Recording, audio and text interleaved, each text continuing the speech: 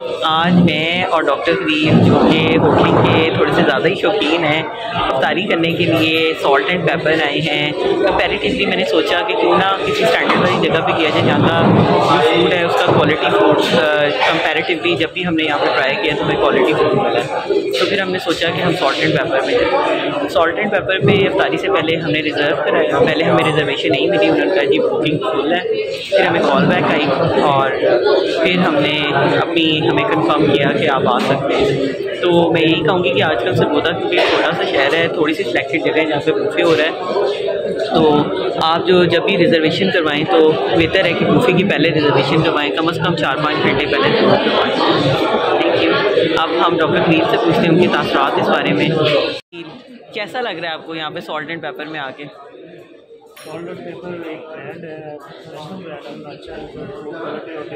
हमने लाहौर में और फैसलाबाद में भी ट्राई किया और हमेशा हमारा अच्छा एक्सपीरियंस रहा है। क्वालिटी अच्छी होती है।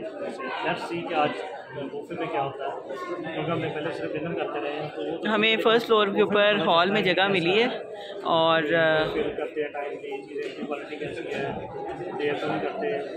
रिफ़िल करेंगे भी या नहीं करेंगे, ये भी पता चलेगा।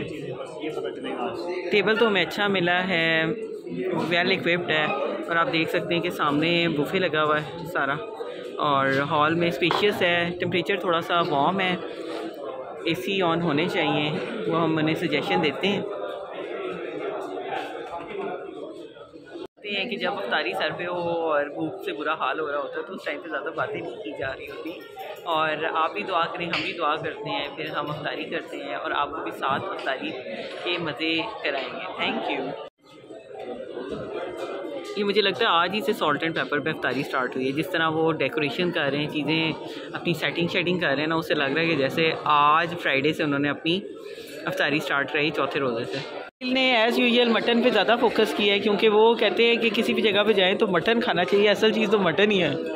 और वैसे भी मटन के वो बहुत ज़्यादा शौकीन है तो वो मटन पे ही फोकस रखते हैं। कैसा रहा मटन डॉक्टर खरीद? माशाल्लाह बोटियाँ खाते हैं और मटन इंजॉय करते हैं। मुख्तलिफ़ किस्म की डिशेस दिखाते हैं जो कि आज की बुफे में अवेलेबल थी सॉल्ट एंड पेपर में। ये आप देख सकते हैं, ये मटन कौरमा है इस पर सबसे ज़्यादा रश था और इधर जगह ही नहीं मिलती थी। ये शाही दाल है, उसके अलावा ये चिकन कबाब मसाला है, पालक है, ये सूप है और वेजिटेबल्स उसके साथ साथ चिकन कढ़ाई है। और चिकन बोटी है। ये आप देख सकते हैं, गोला कबाब है अल्फ्रेडो पास्ता है, और ये वाइट हांडी है, राइस है फ्राइड, मंचूरियन है, ये है black pepper chicken. This was alfredos this was tarragon steak chow mein ये भी मटन उन्ना और ये स्वीट डिशेस हैं साथ नान और रोटी सब अवेलेबल थी। इसमें जलेबियाँ हैं और ये आप देख सकते हैं। इसके अलावा पिज़्ज़ा और जिन लोगों को बर्गर्स का शौक़ है वो बर्गर्स खा सकते हैं। ये भी आ, आ, मतलब मीठी खीर है।